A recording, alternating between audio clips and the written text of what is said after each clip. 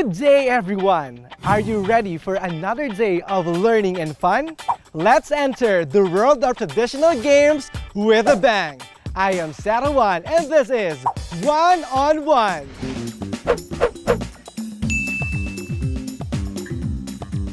Welcome to One on One, a game show that will introduce you to the world of traditional game. We're going to play and have fun while we are learning. Isn't that wonderful?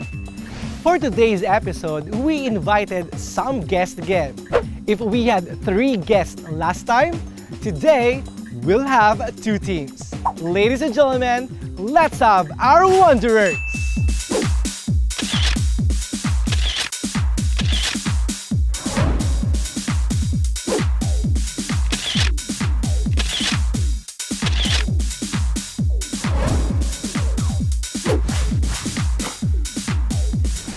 Let's get started! What traditional game are we going to play today?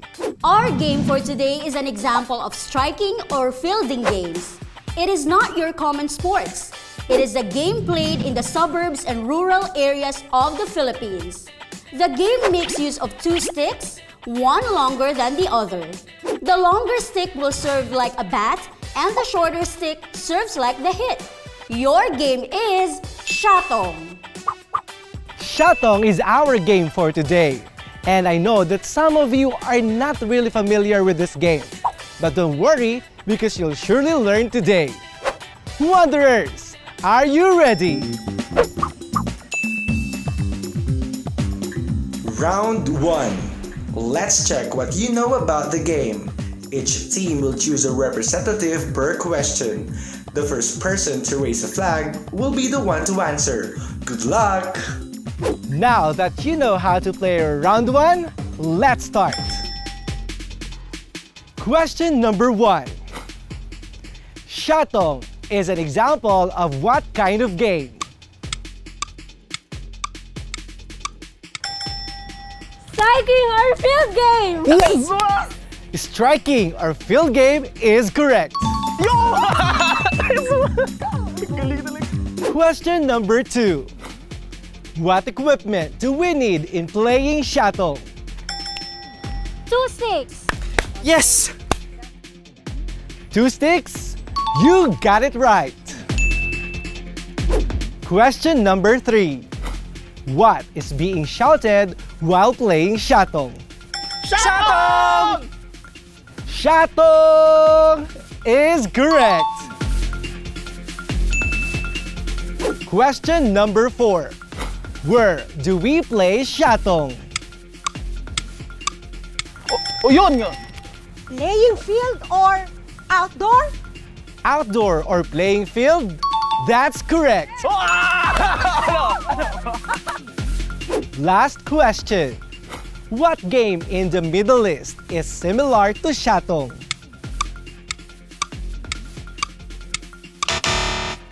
Time's up!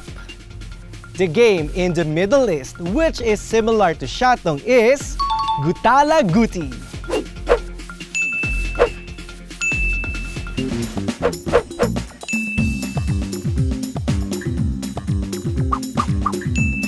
Round 2. There are different skills needed in playing Shatong. Let's rearrange the following jumbled letters to form the answer. We have five words for this round. Let's start. First word.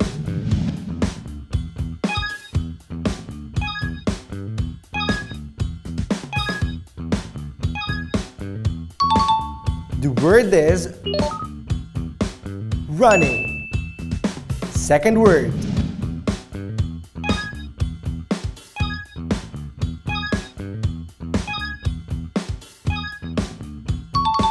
The word is batting.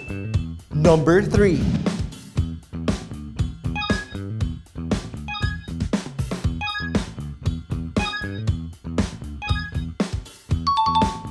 The word is hitting. Number four.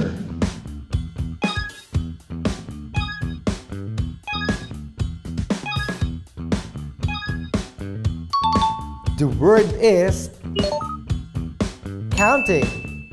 And the last word.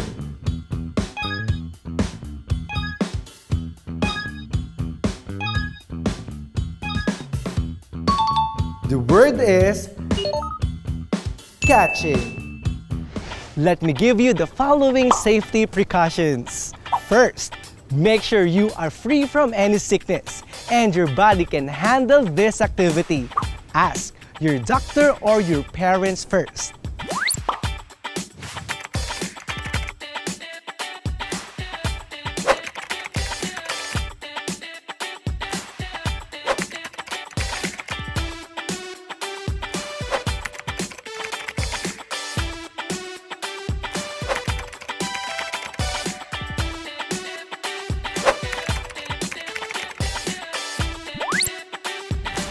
Second, avoid clothing that is too tight or that restricts movement. Shatong is a traditional game which is not commonly played in some areas. Players will be divided into two teams.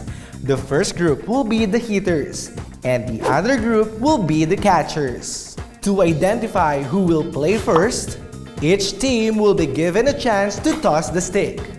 The concept of the game is to hit the shorter stick with the longer stick as far as it can go. If the other team fails to catch the stick, the pointing system will be based on the distance from where the stick landed to the base. It will be measured using the longer stick. The fun part of the game is the player who caught the stick must bring the stick back to the base while shouting, Shadow!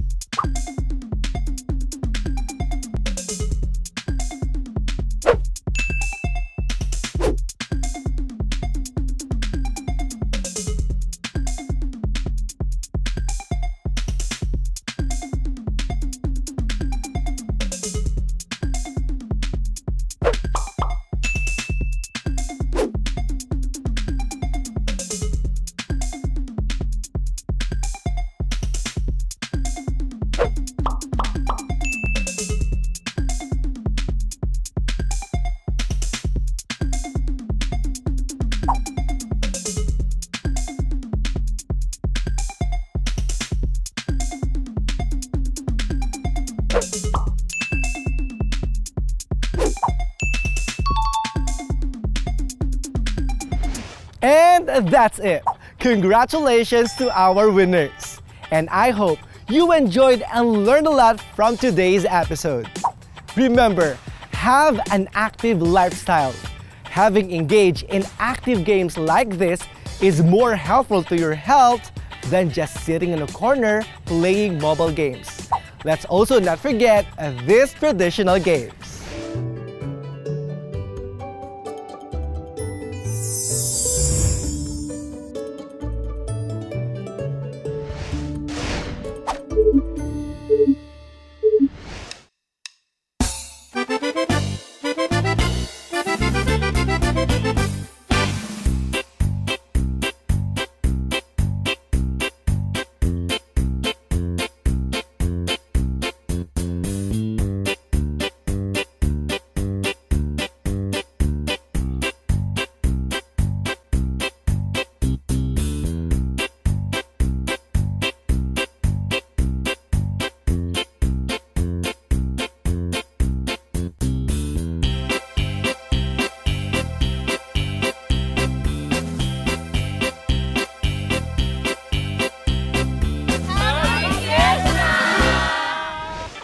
Day, everyone! Are you ready for another day of learning and fun? Let's enter the world of traditional games with a bang! I am Sarawan and this is One on One!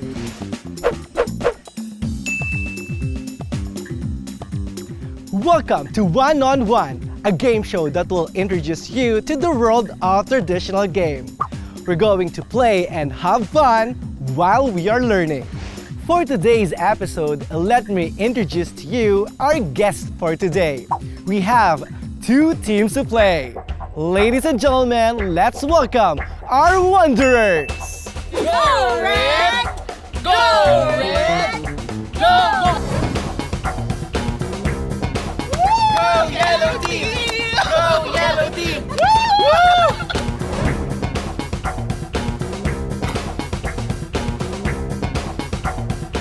Let's get started! What traditional game are we going to play for today? Our game for today is a traditional game that is very popular in the Philippines. Before, this game was only played during barrio fiesta or feast. This was played mostly by children, but now it can also be played by adults during birthday parties, Christmas celebrations, or any other occasions. This game is Basagang Balayok. It's Basagang Palayok. Have you ever tried this game? It's a very well-known game, but let's get closer to Basagang Palayok today. Let's start round 1. Question number one. Basagang Palayok is an example of what kind of game?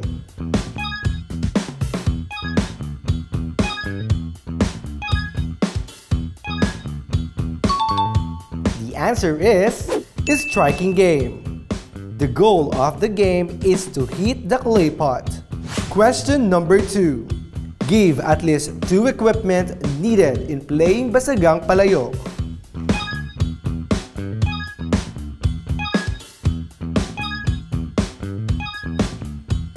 Clay pot and bamboo are the answers. Aside from clay pots and bamboo, we also need a blindfold. Question number 3. What can be found inside the clay pot?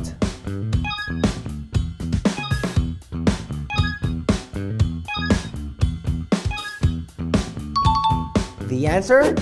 Candies, chocolates, coins, and small toys. Question number 4. What game in Spain is similar to Basagang Palayok?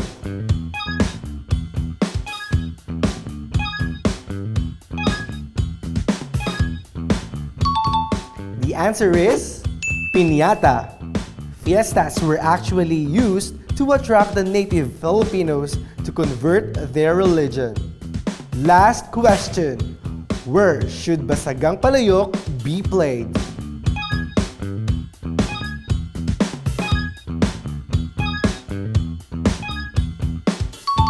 The answer is outdoor. We need a bigger space to do this game and to secure everyone's safety. Let me give you the following safety precautions. First, make sure you are free from any sickness and your body can handle this activity. Ask your doctor or your parents first.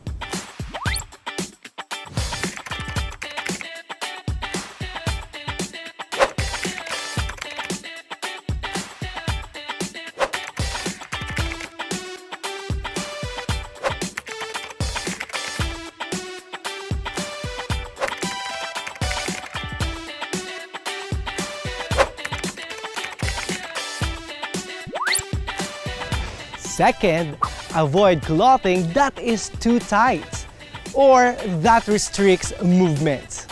During the game, do not come closer to the pot. Stay away from the heater and stay focused. For our second and final round for today, let's play Basagang Palayok! The rules of the game are so simple. You just have to hit the palayok or clay pot.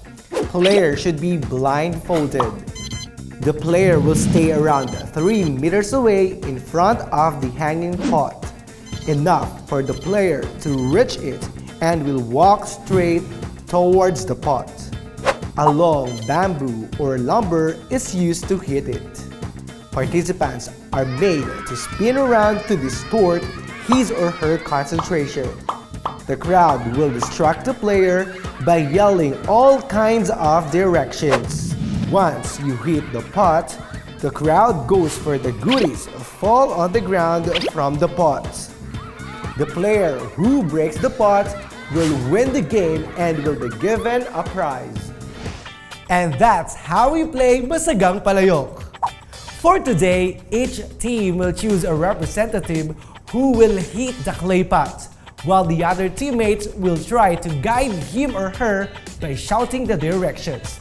But it will not be easy because the other teams will try to distract the hitter. Alright, let the game begins!